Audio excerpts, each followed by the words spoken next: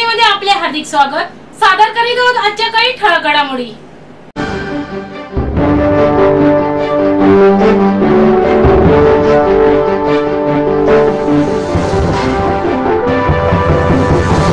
ठाणे शहरातील वाहतूक कोंडी समस्या संदर्भात आमदार संजय केळकर यांनी आज वाहतूक शाखा उपायुक्त आणि अधिकारी यांच्या समवेत एका बैठकीचे आयोजन केले होते. या बैठकीनंतर पत्रकारांशी संवाद साधताना त्यांनी पालिकेच्या कारभारावर ताशोरे ओढले. तसेच या बैठकीदरम्यान केळकर यांनी शहरातील वाहतूक कोंडी सोडवण्याबाबत अधिकाऱ्यांना काही सूचना केल्या. ठाणे रेल्वे स्थानकातून दररोज दहा लाखाहून अधिक प्रवासी ये जा करतात. ठाणे रेल्वे स्थानकात असलेल्या रिक्षा चालकांची आरेरावी भाडे नाकारणे यासारख्या अनेक तक्रारी प्रवाशांकडून येत असतात.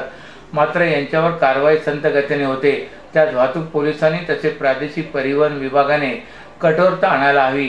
शहरात सुमारे हजारोच्या संख्येने रिक्षा धावत असून त्यांच्या नियोजनाचा प्रश्न ठाण्यासमोर आहे. असे मत केळकर यांनी यावेळी व्यक्त केले. सॅटीर पुलाखालून विविध मार्गावर रिक्षा जातात. मात्र यावेळी रिक्षा चालकांची मोठ्या प्रमाणात आरेरावी होताना दिसून येते. यासाठी स्थानक परिसरात चोवीस तास एक पोलीस चौकी सुरू करण्यात येणार आहे. तसेच ठाणे महापालिकेतर्फे फेरीवाल्यांवर कारवाई करण्यात दिरंगाई होत असल्याने देखील अनेक समस्या निर्माण होतात. पोलीस चौकी सुरू झाल्यास या सर्वांना आळा बसणार आहे. यासाठी प्रवासी आणि रिक्षा संघटना तसेच पोलीस यंत्रणा यांचा समन्वय साधून या समस्या सोडवण्यात येतील. तसेच येत्या आठवड्यात याबाबत प्रत्यक्ष जागेवर जाऊन रेकी करून वाहतूक कोंडी कशी सोडवता येईल याचे नियोजन करण्यात येईल असेही त्यांनी यावेळी सांगितले. शहरात मागील अनेक वर्षापासून प्रलंबित असलेले ट्रक टर्मिनल उभारण्यात यावे अशी मागणी केळकर यांनी यावेळी महापालिकेकडे केले. तसेच महापालिका प्रत्येक कामात दिरंगाई करत असल्याने शहराचे विद्युतीकरण झाले असल्याचा आरोपही केळकर यांनी केला आहे ठाणे कारागृहात शिक्षा भोगत असलेल्या बंदिवानांच्या अनुभूत कला कौशल्याला नागरिकांनी प्रोत्साहन द्यावे असे आवाहन ठाण्याचे जिल्हाधिकारी अशोक सिंगारे यांनी केले. ठाणे मध्यवर्ती कारागृहात दीपावली सणानिमित्त सेल लागला असून या अनोख्या कला कसुरीच्या वस्तूंच्या सेलचे उद्घाटन आज जिल्हाधिकारी अशोक शिंगारे आणि कारागृह उप महासंचालक योगेश देसाई यांच्या हस्ते झाले. या प्रसंगी कारागृहाचे प्रभारी अधीक्षक भाईदा ढोले व तुरुंग अधिकारी उपस्थित होते. ठाणे कार्यगृहात शिक्षा भोगणाऱ्या कौशल्यवान हाताने बनवलेल्या विविध गृहउपयोगी वस्तू ऐन दिवाळी सणासाठी ठाणे कारागृहात विक्रीसाठी ठेवण्यात आल्या आहेत. या सेलच्या उद्घाटनाप्रसंगी बोलताना जिल्हाधिकारी शिंगारे यांनी कुणीही जन्मता गुन्हेगार नसतो एखादी परिस्थिती अथवा अप्रवृत्ती गुन्हेगार बनवते. ठाणे मध्यवर्ती कारागृहात अनेक बंदिवान शिक्षा भोगत आहेत. त्यांच्या अंगभूत कलागुण कौशल्य तसेच त्यांच्या आवडीनिवडी जोपासत बंदिवानांनी तयार केलेल्या वस्तूंची विक्री करण्यासाठी कारागृह निर्मिती वस्तू विक्री केंद्र सुरू करण्यात आले आहे. या उपक्रमाला नागरिकांनी प्रोत्साहन दिल्यास भविष्यात शिक्षा संपून परतल्यावर एक प्रकारे त्यांच्या पुनर्वसनाला सहाय्य होईल असे सांगितले.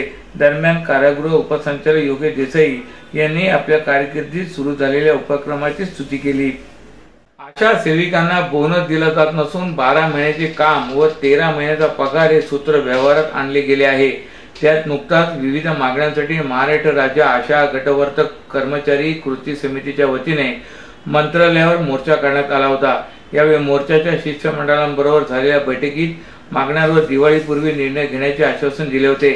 मात्र आता दिवाळीपूर्वी मागण्या मान्य झाल्यास मुख्यमंत्री व उपमुख्यमंत्री यांच्या निवासस्थानी भाऊबीजेच्या दिवशी ओवाळणीचा कार्यक्रम करण्यात येणार असल्याचा इशारा महाराष्ट्र राज्य आशा घटक प्रवर्तक कर्मचारी कृती समितीच्या वतीने देण्यात आला आहे. महाराष्ट्र राज्यात राष्ट्रीय आरोग्य अभियानाअंतर्गत सत्तर हजार आशा सेविका व चार हजार गटप्रवर्तक आहेत. त्यांच्या योगदानामुळे महाराष्ट्राच्या कानाकोपऱ्यात सामान्य नागरिकांना आरोग्य सेवा उपलब्ध होते. करोना महामारीच्या काळामध्ये आशा स्वयंसेविकांनी कुटुंबियांची व जीवाची पर्वा न करता जीवावर उदार होऊन काम केले. महाराष्ट्रातील आशा स्वयंसेविका व गटप्रवर्तकांना त्यांच्या कामाचा मोबदला कधी वेळेवर मिळत नाही. त्यांना मिळणारा मोबदला अत्यंत कमी व किमान वेतनाच्या खाली आहे. औद्योगिक आस्थापना निमशासकीय कर्मचारी जिल्हा परिषदा स्थानिक स्वराज्य संस्था अंगणवाडी कर्मचारी घरकाम कामगार या सर्व क्षेत्रातील कर्मचाऱ्यांना दिवाळीच्या अगोदर बोनस दिला जातो. परंतु अशा सेविकांना बोनस दिला जात नाही. बारा महिन्याचे काम व तेरा महिन्याचा पगार हे सूत्र व्यवहारात आणले गेले. या सर्व मागण्यांकरिता अकरा ऑक्टोबर दोन हजार बावीस रोजी मंत्रालयावर मोर्चा करण्यात आला होता. त्यावेळी सार्वजनिक आरोग्य मंत्री यांच्याशी शिष्टमंडळाची आशा सेविका व गटप्रवर्तक यांच्या मागण्यांची सविस्तर चर्चा झाली होती.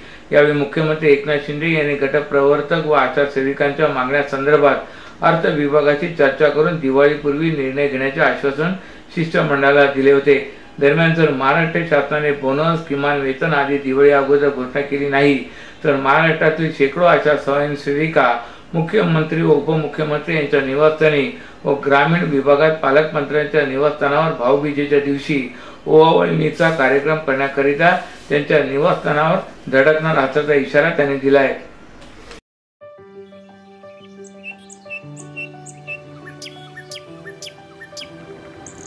अरे निवडणुका जवळ आल्या आहेत. मजा ना? मजा काय त्यात? अरे सुट्टी मिळेल. मस्त पिकनिक काढू धमाल करू. तू मतदान नाही करणार रेस अरे माझं नावच नाहीये मतदार यादीत. काय बोलतो हम्म. काय यंग ब्रिगेड? निवडणुकीवर चर्चा चालली आहे म्हणायची. बरं वाटलं पण तुम्ही निवडणुकीच्या राजकारणात रस घेताय बघू ना. बघा ना काका. अहो मी यांना हेच म्हणतोय की आपण मतदान केलं पाहिजे. पण हा अमोल याचं तर मतदार यादीत नावच नाही त्या दिवशी सुट्टी आहे म्हणून हा पिकनिकला जायचं म्हणतोय. का रे? तुझं नाव का नाही मतदार यादीत? अहो काका माझं नाव अजून नोंदवलंच नाहीये मतदार यादीत. आणि काय फरक पडतोय? मी एकट्याने मतदान केलं नाही तर काय होणार आहे? अरे असं कसं म्हणतोस? तुझ्यासारखा विचार जर प्रत्येकाने केला तर कसं होईल? आज अठरा वर्ष पूर्ण केलेले हजारो करोडो तरुण असतील भारतामध्ये. त्या सगळ्यांनी तसा विचार केला तर? आणि काय रे? तुम्ही देश बदलायची गोष्ट करता आणि मग मतदानासारख्या महत्त्वाच्या कामाला नकार का देता? आणि तुझं काय रे? माझं नाव आहे मतदार यादीत पण मी आता लांब राहायला गेलोय. आणि एवढ्या लांबून कोण येणार आहे मतदान करायला? अरे अशी कशी रे तुम्ही मुलं? सरकारी कामात मदतही नाही करायची आणि सरकारच्या नावाने खडे फोडायचे. कसं होणार अशानी? आणि मला एक सांग तुझे आजोबा गेले ना मागच्या महिन्यात? त्यांचं नाव कमी केलं? कमी करायचं असतं का? अरे म्हणजे काय? आपल्या घरातला एखादा सदस्य कमी झाला असेल. तर त्याची माहिती निवडणूक आयोगापर्यंत पोचवायची जबाबदारी आपलीच असते. अरे अठरा वर्ष पूर्ण झाल्यावर मतदार यादीत नाव नोंदवणं. तसंच आपल्या घरचा पत्ता बदलला असेल म्हणजेच एका शहरात परंतु दुसऱ्या विभागात राहायला गेलो असू तर तशी नोंद मतदार यादीत करणं ही आपलीच जबाबदारी आहे. सगळंच सरकारवर ढकलून कसं चालेल बरं? स्वतःची जबाबदारी ओळखा स्वतः तुम्ही जबाबदार नागरिक आहात. तेव्हा मतदार याद्या अद्ययावत करण्याकरता स्वतः पुढाकार घ्या. हो. काय मग? करणार ना सरकारला मदत? हो. मतदार नोंदणीसाठी अर्ज करा व मतदार यादीत नाव नोंदवा. आजच मतदार यादीमध्ये नाव नोंदणीसाठी W W W dot N V S P dot in या संकेतस्थळाला भेट द्या. तुमचं नाव मतदार यादीत असल्याची खाली दिलेल्या संकेतस्थळावर खात्री करा. H T T P S colon colon CEO dot Maharashtra dot G O V dot in किंवा एक आठ शून्य शून्य दोन दोन एक नऊ पाच शून्य या टोल फ्री क्रमांकावर कॉल करा. अठरा वर्षानंतर फक्त सज्ञान नको सुजाण आणि जबाबदार नागरिक व्हा आणि मतदार याद्या अद्ययावत करायला चला सरकारला मदत करा. दोन वर्षाच्या करोनाच्या निर्बंधामध्ये असलेल्या बाजारपेठा यंदा निर्बंधमुक्त होऊन खुल्या झाल्यामुळे गर्दीनं उच्चांक गाठला आहे ठाण्याच्या स्टेशन रोडवर चालण्यासाठी जागा शिल्लक राहिली नव्हती. तर रामवरती रोड जामीनाका नाका गोखले रोड गावदेवी मैदान परिसरात बाजारपेठामध्ये रांगोळ्या पणट्या आकाशकंदील विद्युत रोषणाई आणि फराळाच्या साहित्यांच्या खरेदीसाठी गर्दी उसळले. याशिवाय इलेक्ट्रॉनिक वस्तू फर्निचर कपडे दागिन्यांची ऑर्डर देण्यापासून भेटवस्तूंच्या खरेदीपर्यंत मोठा उत्साह बाजारपेठेमध्ये दिसून येत आहे. दिवाळी सण दोन दिवसांवर आल्यामुळे बाजारपेठांमधील गर्दी दिवसेंदिवस वाढत आहे. विशेष करून सायंकाळी पाच नंतर बाजारपेठांमध्ये गर्दीची झुंबड पाहायला मिळत आहे. आकाशकंदील पणट्या कपडे तयार फराळ तसेच फराळ बनवण्यासाठी लागणारे साहित्य रांगोळी विद्युत माळा सुंगती उठणे साबण आणि तेल यांचे स्टॉलही लागले आहेत. यंदाही वेगवेगळ्या वस्तूंच्या दरामध्ये काही प्रमाणात वाढ झालेली दिसून येते. ग्रामीण भागामधून मोठ्या संख्येने व्यावसायिक दिवाळीसाठी ठाण्याच्या रस्त्यावर या वस्तूंच्या विक्रीसाठी दाखल होत असल्यामुळे त्यांच्याकडून खरेदी करून त्यांना आर्थिक आधार देण्याचा प्रयत्नही ठाणेकरांकडून होत आहे. छोटे व्यावसायिक गृहउद्योग करणाऱ्या महिलांच्या साहित्यांची विक्री करणाऱ्या ग्राहक पेठांचेही आयोजन ठाण्यात करण्यात आले आहे. यामध्येही खरेदीचा उत्साह दिसून आला असून कोट्यावधींचे उलाढाल या निमित्ताने झाल्याचे येथील विक्रेत्यांचे म्हणणे आहे. यंदा करोनानंतर दोन वर्षानंतर निर्बंधमुक्त दिवाळी धूमधडाक्यात साजरी होणार आहे. फटाक्यांमध्ये वीस टक्के भावड झाली असली तरी आर्थिकदृष्ट्या न परवडणारा वर्ग आपापल्या बजेटप्रमाणे खरेदी करण्यात उत्सुक आहे. यंदा कठपुतलीसारखे दिसणारे मिया बीबी बरोबरच मोर पिसारा फुलून नाचणारा पिकॉक फाउंटन रंग बदलत जाणारे three D pot three young bird मटका पाऊस यासारख्या शोभेच्या आवाज विरहित फटाक्यांना बच्चे कंपनीकडून मोठ्या प्रमाणात मागणी असल्याची माहिती देण्यात आले. कोपरी पूर्व येथे गेले चाळीस वर्षे व्यवसायात असणारे कृष्णा स्टोअरचे विक्री टिकमानी यांनी दिले दिवाळी हा सण पारंपरिक आणि कौटुंबिक पद्धतीने साजरा होत असल्यामुळे शोभेच्या रंगबिरंगी आवाज विरहित फटाके खरेदी करण्याकडे ग्राहकांचा कल आहे.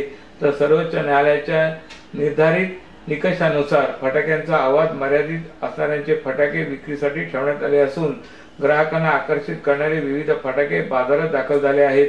ग्राहकांमध्ये एवढा उत्साह आहे की दसऱ्यापासूनच फटाक्यांना मागणीला सुरुवात झाली असून मुलांसाठी फिफ्टी फिफ्टी रंगीबेरंगी फुलबाजी शिटी फुलबाजी सारखे सारखे तडपणारी सारखी फुलबाजी भुईचक्र लसूण बॉम्ब यासारख्या शोभेचे फटाके उपलब्ध आहेत.